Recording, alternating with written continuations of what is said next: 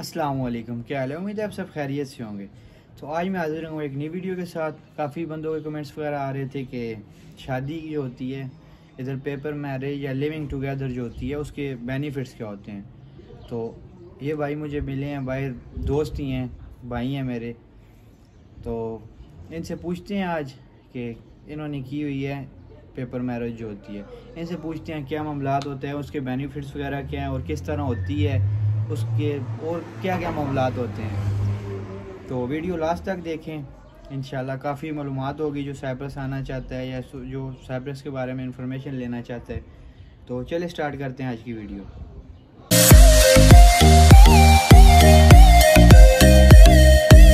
इमरान खान। जिंदाबाद। तो ये भाई हैं मेरे साथ कराची से तलग है इनका शेरी भाई हैं। अस्सलाम वालेकुम वालेकुम अस्सलाम। क्या हाल है? अल्लाह का शुक्र आप सुनाए शेरी भाई बताएँ कि आप कब पाकिस्तान से कब आए थे? कैंप वगैरह में कितना टाइम गुजारा है? और उसके बाद शादी जो की आपने उसका क्या प्रोसेस था? और उसके ख़ास कर जिस टॉपिक पर वीडियो है कि उसके बेनिफिट्स क्या क्या हैं? अस्सलाम वालेकुम भाइयों क्या हाल चाल है? उम्मीद करता हूँ सब खैरियत से होंगे। हमजा भाई मैं आया था 2018 में अप्रैल के महीने में साइप्रस आया था। थोड़ा सा ऊँचा बोलें क्योंकि 2018 में मैं अप्रैल के महीने में साइप्रस आया था तो उस टाइम ये मतलब ये कैंप वगैरह नहीं होते थे उस टाइम फायर फायर से रिफ्यूजीज वगैरह लगती थी दो दिन मैक्सिमम तीन दिन में रिफ्यूजीज वगैरह लग जाती थी अच्छा। तो मैं आया था उस टाइम मतलब साइप्रस के हालात भी बहुत बेहतर थे अच्छा। तो अब ये है कि मैं 2019 में मैंने रजिस्ट्रेशन की थी। अच्छा। 2019 में जब मैंने किस चीज़ मैरिज की? मैरिज की अच्छा वो क्या प्रोसेस था? प्रोसेस इसमें ये था कि लड़की मेरी अपनी थी अच्छा। स्पेन की। तो स्पेनिश लड़की आई थी यहाँ पे तो उसके बाद हम लोगों ने मैरिज की थी। पाकिस्तान से निकाहनामा वगैरह बनवाया था। गत्ते वाली रजिस्ट्रेशन की थी लिविंग टुगेदर नहीं की थी ठीक वो गत्ते वाली और लिविंग में क्या फ़र्क है? गत्ते वाली और लिविंग टुगेदर में बहुत ज़्यादा फ़र्क है। लिविंग टुगेदर जो है वो मतलब उसका इतना बेनिफिट नहीं है उसके लिए बहुत टाइम प्रोसेस चाहिए होता है जो हालात चल रहे हैं आजकल जो लोग कर रहे हैं वो सिर्फ़ पेपर्स बनवाने के लिए कर रहे हैं और वो फाइल्स वगैरह जो हो जाती हैं वो कैंसिल हो जाती हैं। गत्ते वाली ये है कि बंदा अगर ओरिजिनल हो गत्ता ओरिजिनल हो तो उसके बाद वो कैंसिल वगैरह नहीं होती है।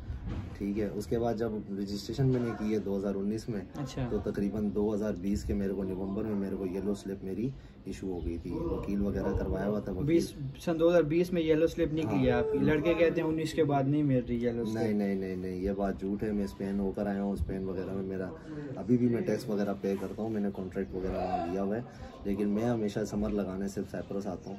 और उसके बाद में वापस अपना स्पेन चला जाता हूँ। समर्स में आप इधर हाँ समर में मैं इधर जॉब करता हूँ होटल वगैरह में रेस्टोरेंट में मैं जॉब करता हूँ। क्या सैलरी आपकी क्या बन जाती है? मेरी एटीन हंड्रेड सैलरी है प्लस टिप पे मैक्सिमम ट्वेंटी टू और ट्वेंटी थ्री तक बन जाती है। मतलब अच्छे पैसे पाकिस्तान हिसाब से वन जॉब से चार पाँच लाख साढ़े मतलब चार पाँच लाख रुपया मेरा एक जॉब से बन ये बेहतरीन हो गया। और ये आपने शादी की है उसका आपको क्या बेनिफिट्स क्या है? बेनिफिट्स मेरे को बहुत सारे हुए हैं। मेरी सबसे पहले जो हुई है वो इंश्योरेंस वगैरह पे हुई है। अच्छा। मेरे को जॉब इजीली मिल गई जॉब अच्छी मिल गई। अच्छा। अब रिफ्यूजीज पे जो होते हैं मतलब वो लड़के बहुत ज़्यादा ख्वार होते हैं। उनको मतलब जॉब भी एक तरीके की अच्छी नहीं मिलती है। बाकी क्योंकि आजकल जो हालात चल रहे हैं आपको बेटर पता होगा बहुत सारी आवाम आ गई है साइप्रस में। तो आवाम ज़्यादा होने की वजह से काम भी बहुत सारा रेफ्यूजी पर तो मैं खुद भी काम कर रहा हूँ। बिल्कुल आठ सौ साढ़े आठ सौ सैलरी इससे ज़्यादा नहीं देते। यही यही तो बहुत मुश्किल होता है। काम भी बारह घंटे चौदह घंटे। बिल्कुल। यही एक्स्ट्रा बंदा करे भी चार पे पर हार के हिसाब से एक्स्ट्रा मिल जाते हैं। तो पेपर वालों का ये बेनिफिट होता है एक बेनिफिट ये भी है पेपर वालों का कि आठ से नौ घंटे जो होगी वो शिफ्ट होगी आपकी। अच्छा। और आप मैक्सिमम अगर एक्स्ट्रा आवर लगाते हो मतलब ओवर टाइम जब लगाते हो तो पर आवर फाइव यूरो आपको पे करेंगे फाइव यूरो चलो वो तो इतना फ़र्क नहीं है एक यूरो का है पर फिर भी काम मतलब इजीली मिल जाता है। बहुत इजीली मिल जाएगा। जिस जगह जाओगे आप मेरी सर्टिफिकेट अपना शो करोगे आपके पास जब येलो स्लिप होगी आप वो शो करोगे। येलो स्लिप के हमें क्या क्या फ़ायदे होते हैं इधर? येलो स्लिप के तो बहुत ज़्यादा बेनिफिट्स हैं। येलो स्लिप से आपको ये होगा कि आप दूसरे कंट्री ट्रेवल कर सकते हो। आपके कार्ड वगैरह आपको मिल जाते हैं वकील निकलवा देते हैं आप ट्रेवल कर सकते हो लड़की कंट्री में आगे पीछे आप जा सकते हो वहाँ जाके अपने पेपर आप सेट अब मेरा मैंने जो अपने पेपर्स वगैरह हैं वो मैंने स्पेन में भी जमा करवाए हैं। मेरा वहाँ भी टैक्स पे हो रहा है अलहमदिल्ला इन ताला मेरे पास स्पेन के पेपर भी अब बहुत जल्द आ जाएँगे।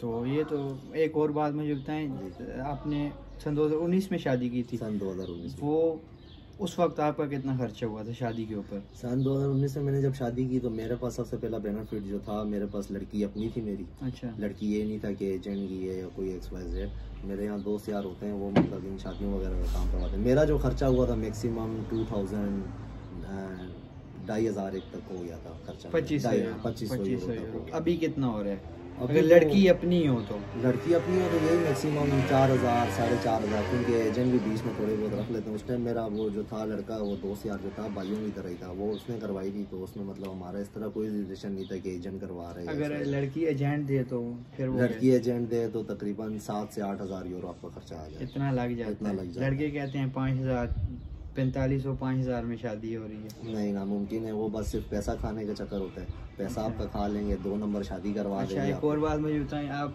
स्पेनिश लड़की थी अभी भी आपने रखी हुई है या उसको आगे पीछे दी? स्पेन की लड़की मेरी अपनी है स्पेनिश लड़की है अभी भी आपके साथ है? अभी भी मेरे साथ यही रह रही है मेरे साथ आप समझ साइप्रस में तो एक और बात मुझे बता दें अभी शादी करना ठीक रहेगा कि नहीं?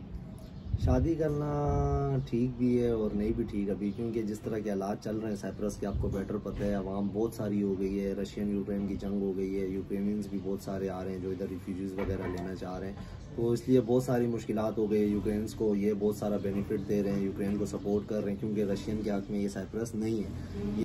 और आप स्पेन में रह रहे हैं उधर काम के क्या हालात हैं? सैलरी वगैरह क्या हैं और आगे पीछे क्या स्पेन जो है वो मेरा अपना कराची का ही लड़का है उसने अपने वहाँ पे खोला हुआ है मेडिकल स्टोर भी खोले हुए दो और अपने ये जो परफ्यूम वगैरह की दुकान होती है वहाँ अच्छा। पे डिपार्टमेंटल स्टोर्स वगैरह अच्छा। वो भी उसने खोले हुए तो वहाँ पे मैं एज अ कैशियर बैठता हूँ वहाँ भी अलहमदिल्ला अल्लाह पाक का शुक्र है बहुत बहुत शुक्र गुजार हूँ। वहाँ भी तेरह सौ चौदह सौ मैक्सिमम मेरा बन जाता है। इतना। मतलब इधर सुकून है आठ नौ घंटे काम करो हाँ ये समर समर गुड है आयनापा में समर गुड है पैसे कमाने का बहुत अच्छा ज़रिया है। यहाँ पे बहुत सारी आवाम जो रिफ्यूजीज पे भी हैं वो भी thousand and eleven hundred euros निकाल रही है। मैं तो आया था विंटर्स के एंड में तकरीबन तो विंटर्स में इधर क्या हालात हैं? साइप्रस में। विंटर्स के हालात इधर आयनापा जो है वो सिर्फ़ ओनली ऑन समर चलता है।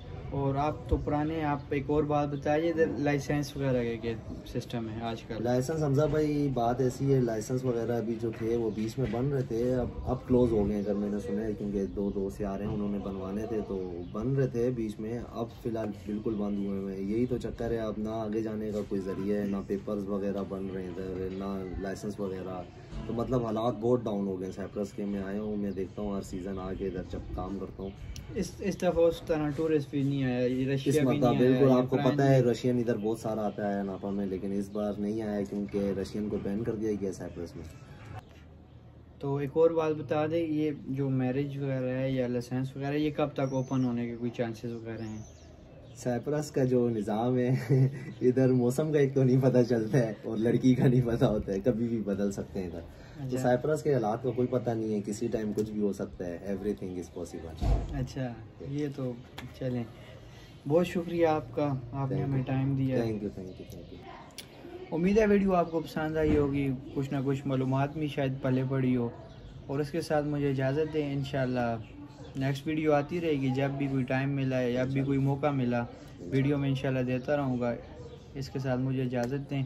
इसके अलावा, जो भी कोई मुझसे रबता करना चाहे इंस्टाग्राम की आईडी है, मेहरबानी करके व्हाट्सअप पर रबता ना किया करें। काम वगैरह पर होता हूँ आगे पीछे। इंस्टाग्राम की आईडी मैं डिस्क्रिप्शन में देता हूँ।